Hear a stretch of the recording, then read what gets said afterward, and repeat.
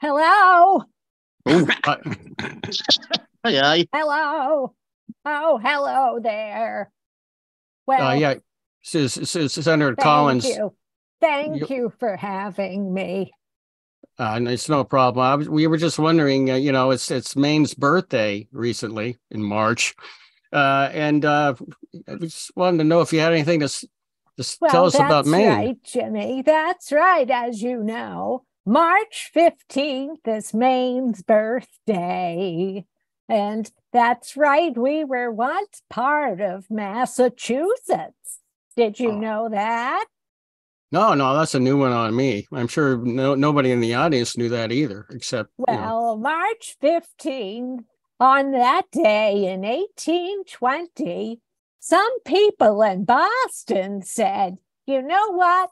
We can be bigger assholes than this. Let's make a new state and call it North Bigger Asshole. Oh, well, that, that doesn't seem like a good name. Well, we later changed it to Maine because we didn't have enough ink. Oh, okay, yeah. North Bigger Asshole. What's the uh, you know Maine has a lot of uh, industry. What uh, what's what's what are you the world's largest producer of?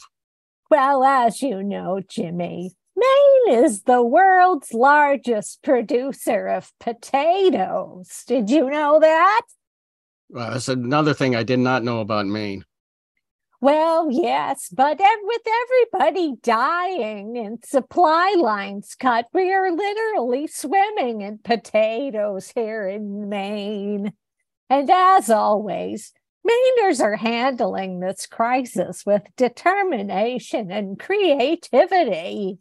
Instead of throwing our potatoes away, we donate them to our senior living facilities where orderlies stick the potatoes in our seniors' mouths and up their bungholes, and then hang them upside down with a lobster hook and let the kids beat them senseless with bats until grandma explodes like a fucking pinata.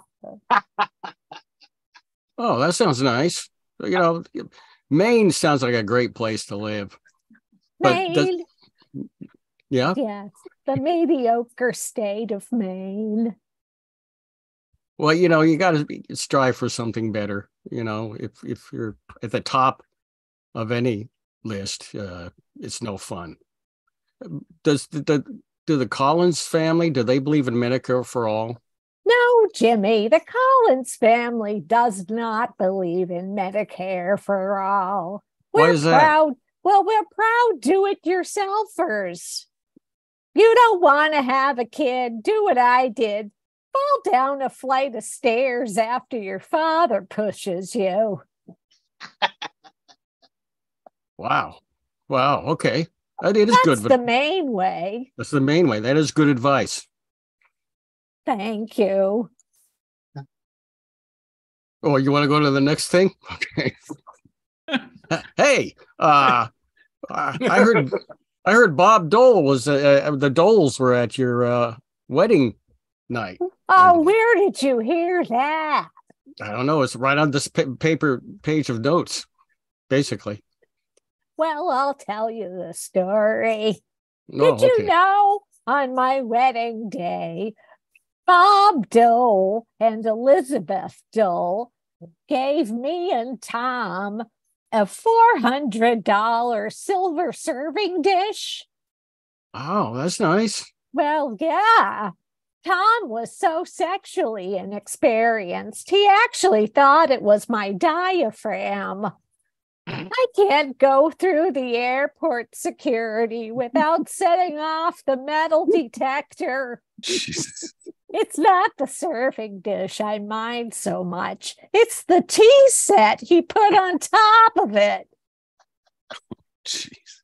Oh, That that's spout still surprises me when it slips out of my pouch. What am I, a goddamned kangaroo? With a husband like that, it's no wonder I never had any children. wow. You know, My husband, Tom, he's a real romantic. He Oh, said I reminded him of the ocean. And I said, You mean wild and salty? And he said, No, you make me sick. Well, it, it sounds like a bad experience there. Well, let's talk about mm-hmm. Mainers. Let's talk about Mainers. Mainers, we're full of, yeah, okay, we're full of potatoes. But did you know it's easy to spot a Mainer by their face because it's always covered in lobster bites?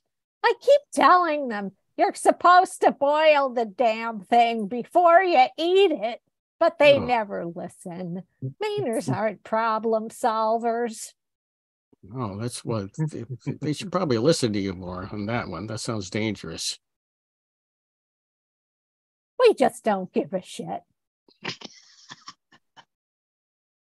What's you're big, you know, you're big on how's the child care doing in Maine? I'm against vaccinating babies with fluoride, Jimmy, but I am for fluoridating vaccines with babies.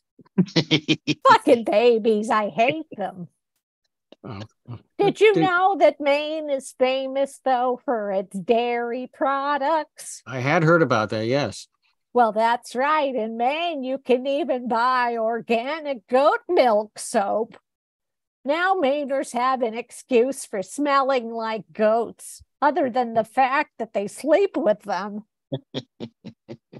Wow, you're not painting a, a very nice picture of Mainers. Well, did you know why Mainers have so much sex with goats? No. Because the goats pay better. Oh, I okay. Well, What do, what do you call a smart person in Maine, Jimmy? uh, I don't know what. A visitor. Well, that makes sense. Why? makes- Because I'm an insufferable asshole. Okay, well, I've heard that said about you before. Yeah, Oh. well, did you know that Maine has no standards for its drinking water? I did know that. Yes. Well, that explains my steady diet of moose blood and grain alcohol, or as Mainers call it, a, a bloody bullwinkle. Wow. There's a reason, though, why Maine don't Mainers don't care about their drinking water because is- moose urine is free. Oh, okay. That makes sense. Well, thank thank you, Senator Susan Collins, for uh, lightening the the day and the night for all of us and making us feel better about our lives. Is Uh-oh. Susan going to run for president? Well, I haven't really thought about it, but maybe someday. I mean, You are known as the most bipartisan senator uh, in in Maine. I am. Yes, one million people in Maine. You have a lot of power. Well, maybe you could Hmm. run with DeSantis. Well, I suppose. What do you call a person in Maine who doesn't have explosive diarrhea? Uh, I, I I don't I don't know. A visitor. Did Well. you know I found out that my diarrhea is hereditary? no, no. Well, of course it is. It runs in my genes. Uh, you know, this you really are not setting a good example, uh, a good image for the state of Maine. Mainers are very, very proud, and this kind of publicity is, is not a good reflection on the work ethic and the can-do attitude of Maine. No response, huh? What do you get when you cross a dick with a potato? I, I, I think a dictator. Oh, so you're the one. Wait a minute. That's not even the right response to my response. It, it doesn't matter. Do matter. you know? Do you know how to tell the difference between an oral and a rectal thermometer? No. Oh, so you're the one.